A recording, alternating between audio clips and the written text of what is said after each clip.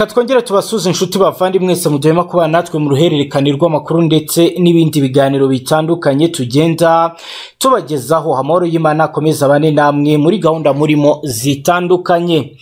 Turi ku manywa yo kuri uyu wa kane ni ku itariki ya makumyabiri n'icyenda kanama bibiri na makumyabiri na kane aho tugiye kurebera hamwe amwe mu makuru akomeye agezweho mu burasirazuba bwa repubulika ya demokarasi ya kongo by'umwihariko ku ngingo irebana n'umutekano akaba ari umutekano ukomeje kugenda uhungabana bya hato na hato muri iki gihugu aho rero mu gitondo cyo kuri uyu wa kane hagaragaye igisa rero n'icyo abantu bavuze ko ari igikorwa cy'ubushotoranyi cyakozwe na wazarenda aho bagerageje kwinjira ku butaka bw'u Rwanda hariya mu karere ka Rubavu mu ntara y'uburengerazuba bw'u Rwanda ariko ibi rero bikaba bitaje kubahira nkaba rero maze kuvugana n'abaturage bari hariya ku mupaka uhuza Repubulika ya Demokarasi ya Kongo ndetse n'u Rwanda hari ibyo bamaze kuntangariza ni mu gihe kandi maze no kuvugisha abasesenguzi ku bijyanye n'umutekano wo mu karere k'ibiyaga bigari aho nabo bagize icyo bambwira ni byo rero tugiye kugarukaho mu buryo burambuye tubabwire byinshi ku biri kuvugwa kuri aya makuru. Nk'uko rero bigaragara akaba rero ari ibintu benshi bavuga ko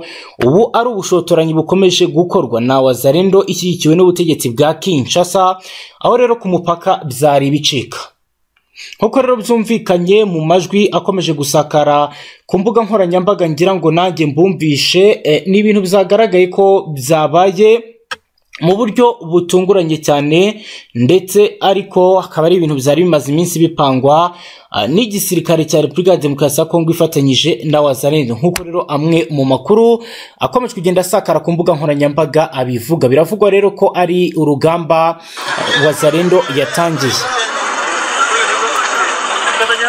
Aya rero niyo majwi yumvikanye aho byagaragaraga ko bamwe uh, mu bazarendo bateguye umugambi wo kuba bahungabanya umutekano ariko navuga ko bitigeze bibahira habe na gatoya ngira ngo humvikanamo amajwi y'igifaransa ndagira ngo mwumve.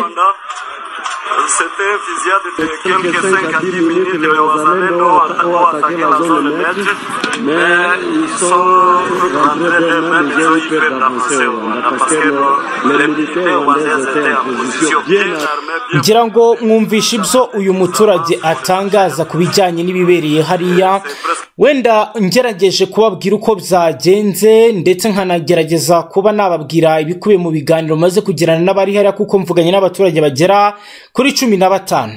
Amakuru aratugera avuga ko mu gitondo hagaragaye igikorwa kigerageza kwinjira ku butaka bw'u rwanda ryakozwe n'itsinda rizwi nka wazarendo rikaba ryari ririmo n'abasirikare b'ingabo za leta frdc ndetse na fdnb cyangwa se ingabo z'uburundi abazarendo bakaba bagerageje kwinjira ku butaka bw'u rwanda barasa amasasu mu kirere bagamije gutera ubwoba abaturage nk'uko bisanzwe bikorwa i goma n'ahandi hari ubwoba bw'uko iyi leta iyobowe na kisekedi cirombo ikomeje gushyira imbere aba bazarendo. Icyakora rero ubwo bageragezaga kwinjira ku butaka bw'u rwanda bagarukiye ku ruga- ku rugabano rw'ahantu hatari ubutaka cyangwa se kuri zone netre. Aha rero akaba ari ubutaka nk'uko babimbwiye n'uko babimbwiye mu rurimi rutari ikinyarwanda neza. Bambwiye bati ibi bagerageje kugera muri zone netre kuko batinyaga gukomeza ubwo wabonaga ko bitandukanye n'igoma aho rero hari abajenali barenga icumi badafite akamaro cyangwa se b'abazarendo bari bayoboye ibi ngibi ni mu gihe rero babonye ko ubwo baza kubikora baza guhura n'ibibazo bikomeye aho rero bagaragaye ko bagaragaje ko ibi bitari kubahira nyuma y'uko byagaragaye ko u rwanda rwari rwiteguye bihagije rufite ingamba zihamye zo guhangana n'ibibazo nk'ibi ngibi ibi rero bikaba byatumye abarwanyi b'abazarendo bakomeza kugaragara ku mupakiro ni igikorwa cyamaganywe kigaragaza ko ari ugukurura imvururu ndetse no kurenga ku mategeko mpuzamahanga agenga imipaka. Aho rero ngerageje kuvugana n'abaturage bambwira uko bimeze ndetse bambwira n'uko byatangiye natangiye rero mvugana n'umuturage uri hariya i Goma ariko ku mpamvu z'umutekano ntabwo yanyemereye ko amazina ye nyatangaza. Namwuramukije ati "Ah, mwiriwe neza. Turabashimira cyane ko mwemeye ko tuganira tubonye amakuru y'uko abazarendo baba bagerageje gushaka kwinjira ku butaka bw'u rwanda.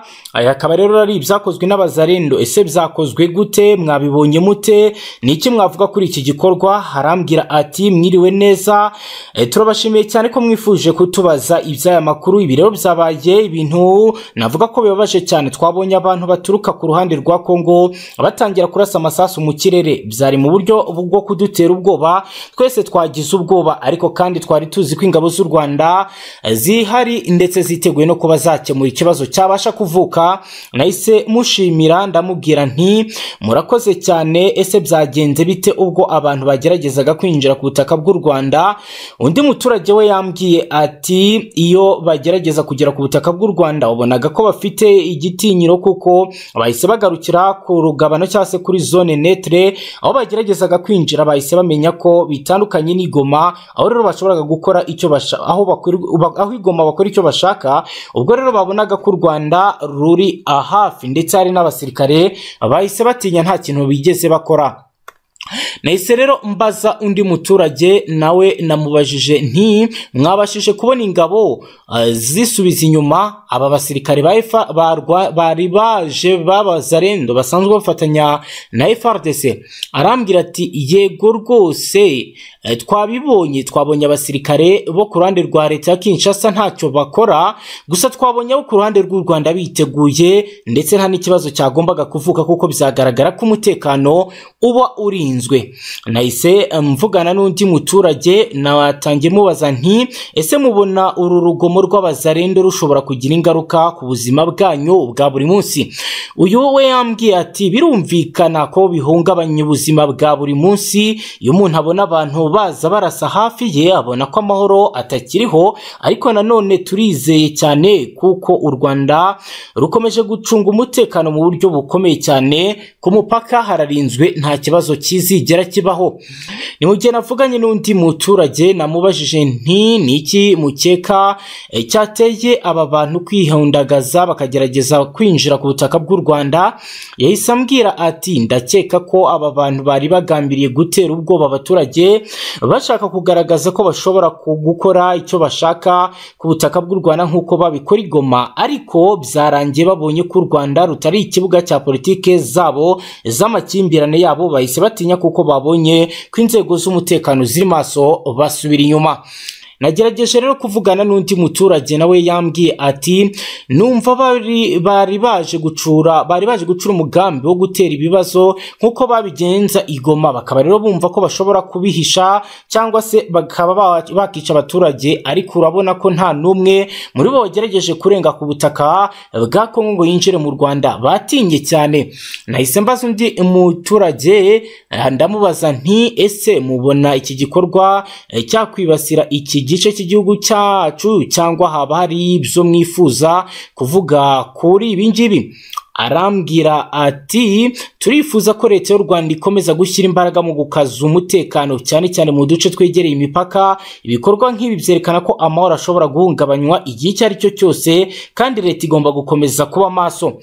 Undi muturage nawe twavuganye yambwiye ati turi abaturage bashima cyane kuko leta yacu ibungabunga umutekano. Uyu ni uw'irubavu twavuganye. Ibyo twabonye uyu munsi byaduhaye icyizere ko dufite ubuyobozi bwiteguye guhangana n'ibibazo byose bishobora kuvuka. Nta rwango dufitiye abaturanyi bacu ariko tuzaharanira ko twirinda abashaka kuba bagira icyo bahungabanya ni mu gihe rero navuganye n'undi muturage aho natangiye mubaza nti ese mwese ni izihe nama mwatanga kugira ngo ibintu nk'ibi bitazongera kubaho? Uyu muturage yambwiye ati icy'ingenzi ni uko leta ikomeza guhanahana amakuru n'abaturage bayo tukaba abajyanama mu by'umutekano buri wese agomba kumenya ko hari ari ku isonga ryo kurinda igihugu. Twakagombye gukora byinshi kugira ngo umutekano wongere ugaruke kandi amahoro yongere arambe. Kugira ngo ubushishozi bushobo Eh, kugira ngo ibintu bigende neza harasabwa ubushishozi ndetse no kwitanga amahoro akazagaruka ndetse tukongera tukabaho neza. Ibi rero ni byo nabwiwe n'umuturage uri i Goma kansoreze kuri ubu butumwa bw'uyu muturage. Nawe aho namubajije eh, uko bimeze by'umwihariko ndamubaza nti ese kugeza ubu ngubu ku birebana na FARDC uko ihagaze haba hari izindi ngamba yahinduye mu buryo yacungaga umutekano ko ibona wazarendo ndetse na bamwe mu basirikare baba bakomeje kuba bakurura ibibazo bishingiye kuri politiki itari nziza akaba rero yambwiye ko kugeza ubu ngubu bigaragara ko ku ruhande rwa leta ntacyo bibabwiye ndetse bameze nk'aho nta cyabaye. Akaba ari bimwe mu bikomeje kugenda biba navuga ko bibangamiye umutekano ndetse n'urujya n'uruza muri uyu mujyi ni mu gihe kandi bitangazwa ko igoma kuri ubu ngubu hatangiye umukwabo udasanzwe aho FRDC ifatanyije na FDLR bari guta muri yombi bamwe mu bahoze ari abarwanya umutwe FDLR bamaze igihe batagaragara ku rugamba. Aho rero bitangazwa ko bari kubikora kugira ngo babashe kuba bakongera abarwanyi barya kurwanya M makumyabiri na gatatu. Akaba rero ari inkuru navuga ko ije yiyongera ku byari bimaze iminsi bikorwa rero amakuru twabashije kumenya ni uko iki gikorwa cyo guhiga abahoze muri FDLR bataye urugamba kiyobowe n'uwitwa Lieutenant Colonel Munyarugendo paka kikaba cyaratumye benshi batangira kwisha mu nkambi zitandukanye. Mu cyumweru gishize ni bwo rero itsinda ry'abarwanyi FDLR ribarizwa mu mutwe wa PM cyangwa se military police rikaba riyobowe na Lieutenant Colonel Munyarugendo Parka iri tsinda rifite inshingano zo gufata abahoze bose ari abarwanyi ba FDLR baboneka muri uyu mujyi wa Goma ndetse n'ababa bamaze imyaka irenga icumi bavuyemo. Ibiro bikaba biri mu mukwabo ugamije kugarura ndetse no kongera kugarura abadizatazi mu kazi.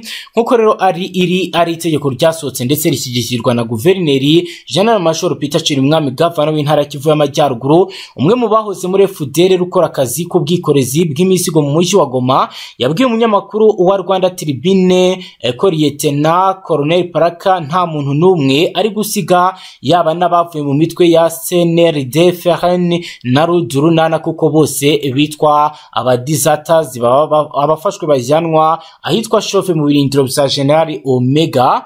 Uyu rero umusore uh, utarashatse ko amazina yatangazwa yashimangiye ko batazigera bemera uh, gusubira muri uyu mutwe nabo bagiye bashyiraho uh, nubwo bagiye bashyiraho gahunda yo kugira ngo babajyane ku ngufu. Mu gihe rero Colonel Munyarugendo yavukiye mu makuru twakiriye nuko yavukiye muri komine Nkumba muri perefegitura ya Ruhengeri mu murenge wa Gahunga ubu ni mu karere ka Burera mu ntara y'Amajyaruguru akaba rero yarinjiye muri Alir mu mwaka w'igihumbi kimwe magana cyenda mirongo icyenda na karindwi. Benshi bazi uyu mugabo bavuga ko ari umusirikare wabaswe n'ibiyobyabwenge. Benshi rero bakavuga ko nta musaruro azigera atanga ufatika ndetse ashobora no guteza ibibazo bikomeye. Benshi mu bakomeje kugenda bigaragara ko ari ibikomeje kuba bizakorwa byo guhungabanya umutekano. Ni mu gihe rero FRDC eh, kuri ubu ngubu rero nk'uko bigaragara yongeye guca amarenga y'uko yaba ishaka gutera u Rwanda cyangwa se kugaba ibitero bihungabanya umutekano w'u Rwanda ibiro bikaba bikurikira n'ubundi bijyanye n'abazarendo nabo bakomeje ibikorwa by'ubugizi bwa nabi. Byifashe bite? Ni igisirikare cya Repubulika ya Demokarasi ya Kongo kikaba giherutse guhakana kivuga ko kitigeze kivogera ikirere cya makumyabiri na gatatu. Kuri ubu kiravuga ko kizifite ikirere. Kiravuga ko icyo kirere kivugwa uh, ko ari icya Repubulika ya Demokarasi ya Kongo kandi biteguye gukora ibishoboka byose n'ibice byose byigaruwe n'umutwe mu makumyabiri na gatatu bakabyisubiza biciye mu ntambara. Ibi rero akaba ari ibintu navuga ko bishobora gusubiza ibintu rudubi ndetse n'inzira y'ibiganiro igaterwa umugongo. Ibi rero bikaba zaravuzwe n'umuvugizi wa FRDC General Major Sylvain Ekenge Bomisa aganira n'umunyamakuru w'igisirikare eh, Suri Lieutenant Nzuzi Yamubazaga ku itangazo riherutse gusobanurwa na makumyabiri na gatatu rivuga ko indege ya gisirikare FARDC yavogereye ikirere cyabo ikagera bunagana mu gusubiza niba koko baravogereye iki kirere cy'ahantu M makumyabiri na gatatu igenzura.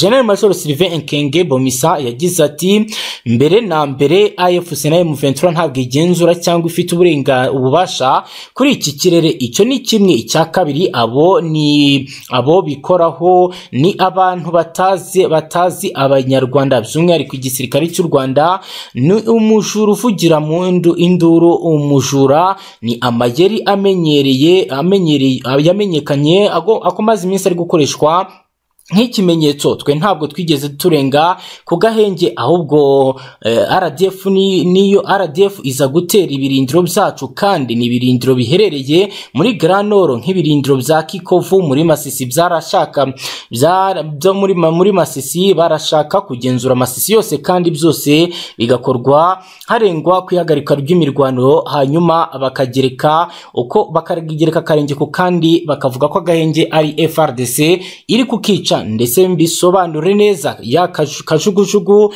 yaba yaravogera icyo kirere bavuga ko ari frdc iyo kajugujugu ntabwo ari iya frdc dukurikije amakuru nakiriye ni kajugujugu y'igisirikare cya uganda ishaka kunyura hariya kugira ngo itahe barasa itahe barasa kuri iyo kajugujugu yari itashye muri uganda. None ni gute uwo wabigereka kuri frdc kandi ari abanyarwanda barenga kuri buri gihe ku gahenge nk'uko kemejwe no, na kemerejwe i rwanda. Tubibutse ko u rwanda kenshi rwagiye ruhakana ibi birego ndetse rugatanga n'ingero rukavuga ko rutakigera rugira inyungu mu guhungabanya umutekano wa repubulika iharanira demokarasi ya kongo ndetse n'abayobozi kenshi byagiye bigaragara ko mu biganiro bagiye batanga bagiye bavuga ko mu gihe repubulika ya demokarasi ya kongo yakenera ubujyanama cyangwa se ubundi bufasha mu gukemura ibibazo biteguye kubutanga ariko leta ya kinshasa imaze igihe kinini itangaza ibirego benshi bavuga ko bidafite ishingiro.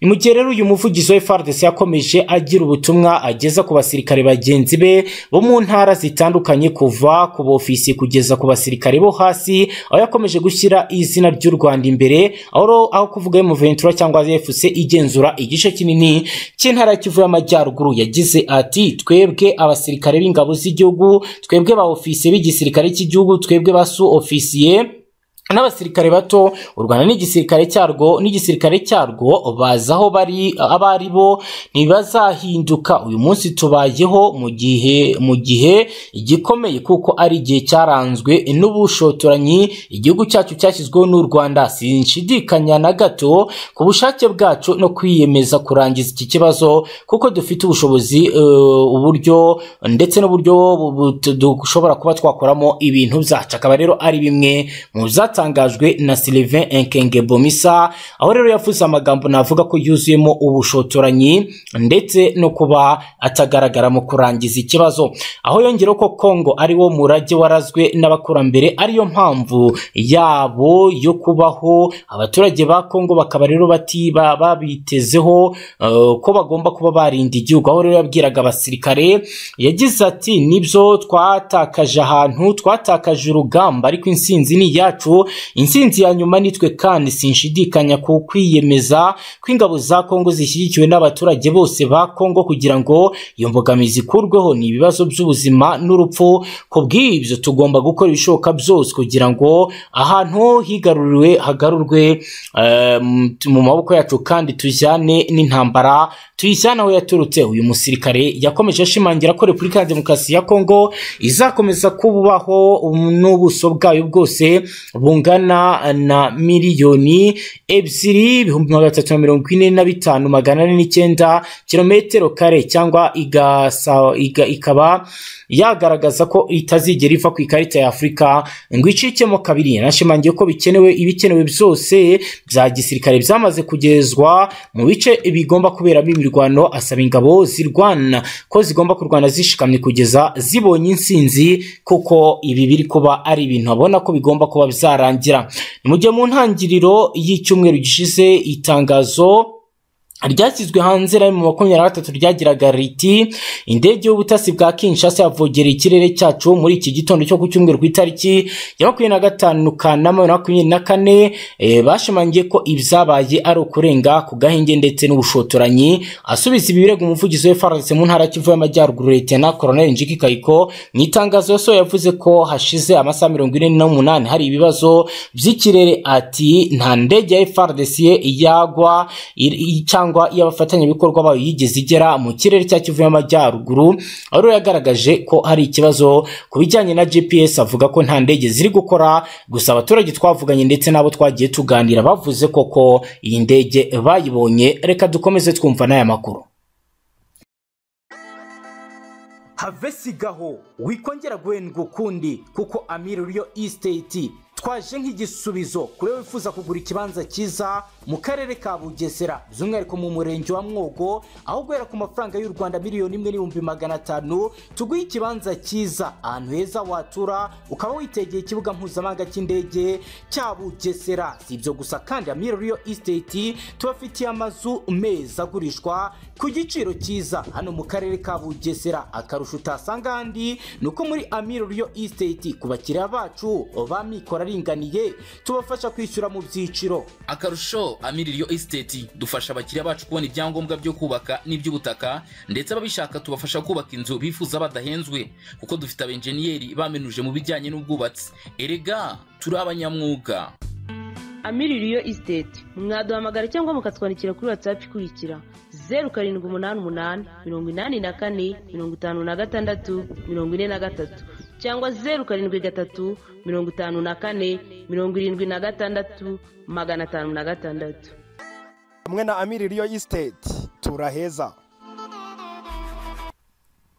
Ni ukuvuga ngo bwana riyo nakubwira yuko imirwano navuga ko ikomeje guca ibintu ku rwo hejuru ariko nanone kubera impinduka zikomeza gukorwa cyane mu bice bitandukanye yaba ari ku ruhande rwa guverinoma ndetse no rwa repubulika nako rwa rw'umutwe wa emuventura cyangwa zasarambuye alliance feve congo muri rusange.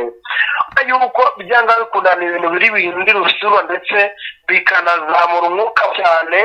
Ikindi urabona yuko haje kugenda hakorwa ibikorwa byinshi bibangamira abaturage ubu nakubwira nk'ibikorwa cyane cyane by'ubusi bwa hato na hato bukomeza kugenda bwiganza mu bice bitandukanye y'ibyo intare zasambwe zigenzura igisirikare cya fardc kirimo kiraza kikinyabiramo gutyo wenda aho biri hose bakagira gutyo bagashimuta abantu wagoma no mu bindi bice bigenzurwa n'igisirikare cya fardc naho ni uko kuba barimo basirwa abantu benshi ibintu byahindura urugamba rukomeje kuba rubi cyane. Kandi ngo wumvishije ko nyine nk'uko nabikoherereje urabona bazarendo bongeye gushyirwa niko navuga bongeye kongera guhabwa inshingano mu gihe nyamara mu minsi ishize babaga barimo baramaganwa urumva rero ibintu ni ibibazo bikomeye.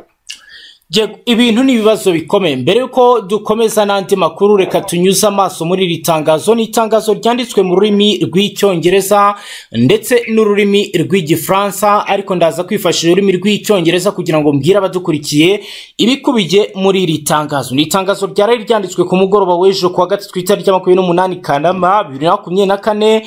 Ritangira rigira riti the alliance fleve congo draws the attention of both the national and international community to the going violation of the ceasefire by the coalition forces of Kinshasa regime, mainly the FRDC, FDLL, mercenaries, Mai Mai Wazalendo, Methania, the National Defense Force of Burundi, SADC forces and MONUSCO. Aho ngenekereje mu kinyarwanda bagira bati alliance fleve congo iramenyesha abenegihugu ndetse n'imiryango mpuzamahanga ibirebana n'ubushotoranyi bukomeje gukorwa bwo kwica agahenge bikozwe n'ingabo zishyize hamwe z'ubutegetsi bwa kinshasa zigizwe na frdc fuderere abacanshuro mayimayi wa zarendo ingabo za leta y'uburundi n'ingabo za sadeke hamwe na monisco. Rirakomeza rigira riti the afc takes a, as witness regional leaders and international partners whose effort to resolve the conflict in eastern DRC are increasing jeopardized by this at least deliberate ceasefire violation. In this context, the IFs informed the public of the following. Aho rero bagira bati afc irama irahamagarira abayobozi bo mu karere no ku rwego mpuzamahanga bakomeje kwitangira gukemura amakimbirane mu burasirazuba bwa kongo ko ibikorwa byabo bigenda bishyirwa mu kaga. N'ubu bushotoranyi bushya bwo kwica agahenge. Muri urwo rwego afc iratangaza iratangariza rubanda ibi bikurikira. Ku mwanya wa mbere bagize e, bati members of one of active components of kinshasa regmas coalition forces namely the fdr nakbad kenya woman truck driver florence wanza mwayo born on march 29 eh, one- one- eh, 1979 in macolos district kenya on tuesday august 27 2024 afternoon in kiseguru within the binza grouping. Aho rero bagize bati abagizi ba nabi bishe- ba- ba- bakorana na leta ya kinshasa ari bo fdr bashimuse umukobwa w'umunyakenya witwa fridan wanza mwaya wavutse ku itariki makumyabiri n'icyenda werurwe igihumbi kimwe magana cyenda mirongo irindwi n'icyenda mu gace kahitwa makosi kenya eh, ku wa kabiri ku itariki ya makumyabiri na karindwi kanama bibiri na makumyabiri na kane ku isaha ya saa sita ikiseguro mu gace ka bunagana. Akaba rero ari uwakoraga akazi ko gutwara ikamyo uyu rero yari umushoferi ni mu gihe ku mwanya wa kabiri bagize bati the same fdr continue thieving local agriculture activities through kidnapping and routing thereby spreading terror and insecurity. Bikaba rero mu kinyarwanda ngenekereje baragira bati fdr riracyakomeza gutera ubwoba ibikorwa by'ubuhinzi ndetse bikaba isahura abahinzi b'abaturage binyuze mu gushimuta no gusahura ibyo baba bahinze. Bityo rero ikaba ikwirakwiza ubwoba ndetse n'umutekano muke. Rero ni itangazo basoje bagira bati our organization standards should, uh, should, to should within a compliance and reiterates its commitment to protecting them and defending their rights against these terrorist acts. Akaba rero ari itangazo basoje bagira bati "Eh, koalisiyo yacu cyangwa se alliance yacu irifatanya n'abaturage bacu kandi ryongeye gushimangira kwiyemeza ko bagomba kurwanirira rubanda no kurengera uburenganzira bwabo ku bikorwa bikomeje gukorwa turwanya iterabwoba ry'ibingibi. Iri ni itangazo ryashyizweho umukono na Laurence Kanyuka akaba yarishyiriweho umukono ibunagana ku itariki ya makumyabiri n'umunani Kanama bibiri na makumyabiri na kane amenyesha amahanga ibiri kuba. Bwana Mari Shukurani ngira ngo iri ni itangazo rigaragaza ko ubugizi bwa nabi buri gukorwa twakitega icyo ushingiye ku byo uri kubona ndetse n'iri tangazo. Kuko hari bimwe biri gukorwa ndetse bigaragaza ko urugamba rwaba rugiye gukomera. Ni ukuvuga ngo uh, mu bihe bitandukanye bavuga ko intare zacuranzwe zagiye zigaragaza kenshi n'ubundi ko badashyigikira gatoya ibikorwa by'ubugizi bwa nabi nka gutya ikindi kandi aha none ni ugutanga navuga isomo kuko uh, ndetse n'amakuru nanone kandi bakayatangira ku gihe. Tujya tuvuga ngo bakomeza guhohotera cyane cyane bagahohotera n'abakora mu bihugu by'ibituranyi ugasanga wenda ntabwo ba- ba- ba- ba- babasha kumva ntabwo babasha kubyumva. Ariko nk'aha ngaha ngira ngo kanyuka na bagenzi babo bagerageje gushyira ibintu ku mucyo tukumva uburyo ki ibintu bimwe. Uko rero kumva mu bice cyangwa se muri ntara zasaramwe ziherereyemo bari gukora ibikorwa nk'ibingibi by'ubugizi bwa nabi ndetse n'ubushimwe.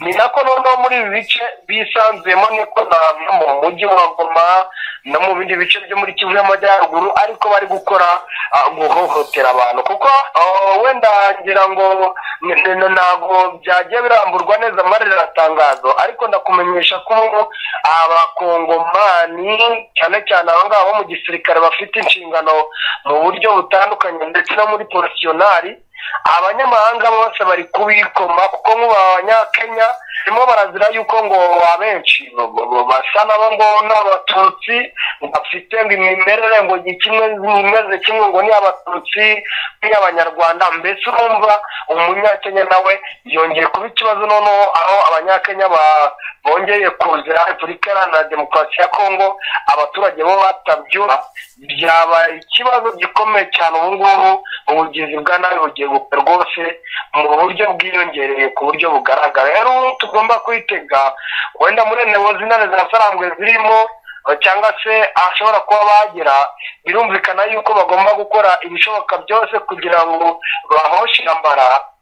Ikindi noneho ah, ubwo tunagomba no kwitega ko isaha n'isaha hashobora gukomeza n'ubundi mirwano cyane cyane ku ruhande rw'intare zasarambwe zije n'ubundi kugira ngo eh, zigire eh, a- abo zitabara bari gukomeza hohoterwa Yego, reka dukomeze amakuru yacu eh, ahatangajwe igihano gikakaye kizahanishwa abasirikare FARDC baheruka kwica abamotari Goma n'abasirikare umunani bo mu ngabo za Repubulika ya Demokarasi ya Kongo bashinjwa kwica barasha abamotari babiri bakaba rero bahawe igihano bagasaba igihano cy'urupfu. Uru ni urubanza rwasomwe kuri uyu wa kabiri ku itariki makumyabiri na gatandatu kanama makumyabiri na kane rusomwa n'urukiko rwa gisirikare ruherereye muri teritwari ya Nyiragongo. Abasirikare uko ari umunani ni aba Repubulika ya Demokarasi ya Kongo bashinjwa kwica abaturage bakoresheje imbunda aho barashe abasivili babiri bari basanzwe bakora akazi ko gutwara abagenzi kuri moto ubwo bariho ahangaha habaga umukwabu wa gisirikare mu cyumweru gishize. Abamotari babiri bishwe barashwe n'aba basirikare mu masaha y'umugoroba mu gace kahitwa Buhombo muri teritwari ya Nyiragongo. Bakaba barabashije ko bari barengeje amasaha yagenwe yo gutwara moto kuko rero bigenwa ko ku isaha saa kumi n'ebyiri z'umugoroba akazi gahagarara. Aba basirikare bakatiwe urwo gupfa ni uwitwa premier classe sindaka kabeya Sa- sergent major ngoyi kabeya sergent major ntumba chibangu frederike na premier classe mm, chilonda mwana hertier na premier classe kabulo balekula junior caporal beya ndombi caporal ntumba kalombi ndetse na deuxième classe ntumba bahikwamba augustine. Aba bose rero bakaba barashinjwaga n'umugenzuzi wa gisirikare muri goma witwa dembaye mondomba uh, michel. Aho rero abashinja icyaha cy'ubwicanyi bakoze bagamije ubujura ndetse n'icyaha cyo gupfusha ubusa amasasu y'intambara. Iki gihano cy'urupfu cyatanzwe nyuma y'uko sosiyete sivile ikorera mu gace ka nyiragongo isabye ko hatangwa ubutabera kuri ubu bwicanyi bwakorewe bariya basivili babiri. Thierry gasiriro umunyamabanga wa sosiyete sivile muri nyiragongo we yagize ati uru rubanza rurangiye abasirikare umunani bahamijwe icyaha cyo kwica abaturage mu bihe by'amahoro. Kuri twe twanyuzwe twanyuzwe n'igihano cyatanzwe kuko kije mu buryo bwo guhamya icyizere hagati y'abaturage n'ubuyobozi ndetse no guca. Umuco wo kuda- wo kudahana wakunze kugaragara mu burasirazuba bwa repubulika ya demokarasi ya kongo uwo munsi muri sosiyete sivile uyu- munsi. Wo muri sosiyete sivile yasabye ko ubugenzuzi bwa gisirikare kujya bukomeza kuburanisha imanza nk'izi mu ruhame kugira ngo abaturage babashe gukurikirana neza ndetse no kumenya ibihano bihabwa abasirikare bitwara nabi bwana mari shukorani ngira ngo ibi ni ibibaye mu gihe n'ubundi goma abaturage bamaze igihe bavuga ba- ndetse ku munsi w'ejo watubwiraga ko bari kwamagana igaragara ry'abasirikare cyane ku butaka bw'uyu mujyi basaba ko eh, urujya n'uruza rw'abasirikare bagabanuka. Byo kugeza ubu ngubu abaturage baba bagarura icyizere FRDC urumva nta kintu kidasanzwe cyane cyahinduka bwana riyo kuko ibintu bi- ni ibintu bimaze igihe ahubwo ubona bigenda birushaho kwiyongera mu bihe bitandukanye bitewe n'igitutu babona gikomeza gushyirwa cyane cyane kuri uyu mujyi wa goma. Uko abasirikare bakomeza kongerwa none nako n'abaturage bakomeza nyine kubangamirwa ndetse bakanabigaragaza nakubwiye ko muri iyi minsi ubu ngubu rwose hari ibice byinshi ah, ubu nakubwira nka za kasika nakubwira amakaritsiye atandukanye ya hano yegereye za rakiveri ndetse no mu bice bya mugunga aho abaturage barangije akarungu ndetse bikarangira banafunze imihanda mu rwego n'ubundi rwo gukomeza kugaragariza guverinoma igisirikare FARDC ndetse n'abandi bose bafite inshingano mu kubungabunga umutekano wabo ko bafite uburakari bukomeye cyane ndetse bakaba ba- bari kubigaragaza nyine bavuga yuko batazahwema na rimwe kugaragaza akababaro kabo ndetse n'akazi babo. Ibi ni ibibaye mu gihe n'ubundi umuturage urigoma mpaye amakuru arambwira ati eh, goma zakomeye. Uwitwa baraka munyabarenzi yarashwe arakomereka kuri uyu kuri aveni muhabura agana ku isaha saa yine n'iminota mirongo ine n'itanu z'ijoro ku wa gatatu ku itariki makumyabiri n'umunani kamena na makumyabiri na kane. Yarashwe n'abambuzi bitwaje imbunda bari bari ku ipikipiki bamurashe mu nda mbere yo gutwara igikapu cya cyarimo ibihumbi bigera kuri bitatu by'amadolari wahohotewe yajyanwe ku bitaro bya cbc ndosho kugira ngo ahabwe ubufasha.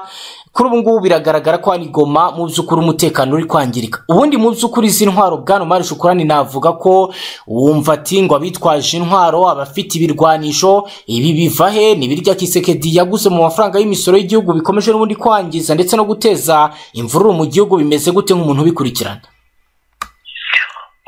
Urebye navuga yuko wenda mu bihe bitandukanye n'ubundi abakongomani bakundaga kugenda bagira intwaro rimwe na rimwe kuko usanga n'ubundi kontorore yazo yaba ari no mu gisirikare cya leta nta kigenda mu byago baba babikontorora mu buryo bugaragara. Ariko noneho byaje guhukanye ubwo icyitwa wazarendo cyangwa se icyica wazarendo uru rubyiruko rwarangije kwishyira mu mihanda ndetse leta narwo igahita ibyumva ibyo bintu dore ko abenshi ari bo bari barabikereyetinze n'ubundi babitangiza bahita babahereza inda. Ubu byaje kugera igihe birabarenga ariko nibo rwose nibo bakujije ibi bintu nibo bakujije ubu bureme n'ubundi bwo gukomeza guhura n'akaga gakomeye cyane no gukomeza gukeretinga ibibazo hano ikivu y'amajyaruguru. Reka dukomeze amakuru yacu tujye n'ubundi mu ntara kivu y'amajyepfo ngira ngo bwana mari shukurani hari ibyo uzi kuri jisite bitakwira. Jisite bitakwira hari ibyo muzeho nubwo atari byinshi cyane. Mu by'ukuri mbere na mbere ni magingo aha ngaha navuga yuko wabaye nk'ikivume wabaye nk'ikivume muri ibi bice by'ivu y'amajyepfo kubera yuko hano hiriya ruguru nibo bakunda gukoresha ngo yanze ubwoko abashaka kwihekura umunsi ku munsi ni umunyenda nini ni wa muntu mbese ushobora no kwitandukanya n'abavandimwe be ariko kubera nyine ushaka amaramo. Magingo aha rero n'ubundi amakuru ahari ni uko akomeje kugambanira n'ubundi ubwoko kugambanira baba bw'ikinyarwanda kugambanira abanyamuri muri biriya bice bya kivu y'amajyepfo amakuru rero twamaze kwakira aravuga ko jisite bitakwira ari mu mugambi udasanzwe hamwe n'ingabo n'ubutegetsi Burundi. Ndagira ngo nyemerere twinjire muri iyi nkuru ubwo turagaruka noneho tubwira ku bijyanye na deployment twumva ibice bikomeje kugenda bikazwamo imbaraga. Ni bimwe rero mu byo tugiye kugarukaho ku bijyanye n'umugambi wa jisite bitakwira ari gupangana n'abayobozi b'u Burundi. Ni ibikubiye mu makuru y'ibanga ava mu butegetsi bw'igisirikare cy'u Burundi. Avuga ko mu byumweru bibiri bishize habaye umubonano wahuje depite jisite bitakwira ndetse na colonel Ildefonsi Habarurema wo mu ngabo z'u Burundi aho baganiriye ku gushora uh, intambara mu bwoko bw'abanyamurenge n'abatutsi bose muri rusange batuye mu burasirazuba bwa Repubulika Iharanira Demokarasi ya Kongo amakuru yizewe dukesha amakuru atandukanye yerekana ko umuyobozi w'urwego rw'ubutasi rw'igisirikare cy'u Burundi Colonel Ildefonse Habarurema yaganiriye ndetse agirana n'inama rwihishwa n'intumwa ya leta ya Kinshasa zirimo bwana Justin Bitakwira bivuga ko yari yatumwe na Perezida Kisekedi wa Repubulika Iharanira Demokarasi ya Kongo ibiganiro kandi byitabiriwe n'abarimo abayobozi bo hejuru bo mu mitwe yitwaje intwaro ikorera ku butaka bwa Repubulika ya Demokarasi ya Kongo izwiho kuba abafatanya bikorwa b'ingabo za leta Mu rugamba banganye mu mutwe wa makumyabiri na gatatu barimo uwitwa Gilles Murumba umuvugizi wa Nyatura CMS ndetse na Justin Ndayishimiye umuhuzabikorwa w'umutwe w'iterabwoba wa FDLR nk'uko aya makuru abivuga ni uko ibiganiro byibanze ku nzira yakoreshwa kugira ngo wazare abazarendo muri Repubulika ya Demokarasi ya Kongo n'imbonerakure zo mu Burundi bakubunganire abaturage b'ibihugu byombi mu ntambara iri gutegurwa n'ubutegetsi bwa Kisekedi Chirombo na mugenzi we Burundi Evariste Ndayishimiye ndayishimiye izahuza abantu ndetse na neriyotike hagamijwe gushaka abayoboke ngo bateze imbere ingengabitekerezo y'ubutegetsi bw'abahutu ubutegetsi bwa kinshasa ndetse na gitega umugambi bakomeje kunoza. Ibiganiro bikaba rero byarayobowe na colonel defonsi habarurema n'abandi bayobozi bakuru mu ngabo z'u Burundi mu gihe jise bitakwira usanzwe ari umudepite ku rwego rw'igihugu muri repubulika ya demokarasi ya kongo yarayoboye intumwa zaje ziva mu gihugu cya repubulika iharanira demokarasi ya kongo. Uyu mugabo jise bitakwira azwiho gukoresha imvugo zibiba amacakubiri n'urwango aho akunze kwita abatutsi bo muri repubulika demokarasi ya kongo mu bwoko ubwoko bubi ubundi akavuga ko ari ubwoko bw'inzoka. Ibi rero akaba yaragiye abivuga kenshi mu biganiro bitandukanye yagiye akorera uvira na baraka ndetse n'ahandi hatandukanye colonel iri defense habarurema nawe rero ni umuyobozi ukuriye urwego rw'ubutasi mu burundi nawe rero akaba azwiho kwanga cyane abatutsi bo mu gihugu cy'u burundi kuko yagiye agaragara kenshi abagirira nabi byari bisanzwe bizwi ko repubulika ya demokarasi ya kongo ishinja umutwe mu makumyabiri na gatatu kuba umutwe. Uterwa inkunga n'igihugu cy'u rwanda ibyo u rwanda rwakanye inshuro nyinshi ahubwo rugashinja kinshasa gukorana byafi n'umutwe w'iterabwoba fdr urimo abasize bakoze jenoside mu rwanda uburundi bwo bukaba bushinja kigali gufasha umutwe wa red tabara ndetse no kubaha icumbi ariko u rwanda rukabihakana narwo rugashinja uburundi gukorana na fdr imyaka igiye kuba itatu burundi buri gufasha frdc urugamba mu ntara ya kivu y'amajyaruguru aho kuri ubu ngubu bigaragara ko n'ubundi ubu bufatanye butigeze butanga umusaruro habe na gato. Bwana omar shukurani ngira ngo wakomeza utubwira deployment bihagaze gute kugeza ubu? Ni ukuvuga ngo bwana riyo mu bice byinshi hakomeje kujyanwa abasirikare benshi cyane ndetse eh, n'ibikoresho byabo. Ariko by'umwihariko hari ibice bikomeje kwibasirwa cyane cyane mu koherezaho abasirikare benshi ubona harimo harikanga ikintu gikomeye cyane. Ibi bice bya kibumba rwose ibice bya kibumba mbese ah, izi gurupoma zo muri teritwari ya nyiragongo zikomeje kugenzurwa n'igisirikare cya fardc hakomeje kujyanwayo abasirikare benshi gusa n'ibice n'integere teritwari ya masisi cyane cyane uzamukiye muri ibi bihe n'ubundi bigenda biberamo imirwano mu bice bya sake naho hakomeje kurungwa abasirikare benshi cyane cyane b'abarundi.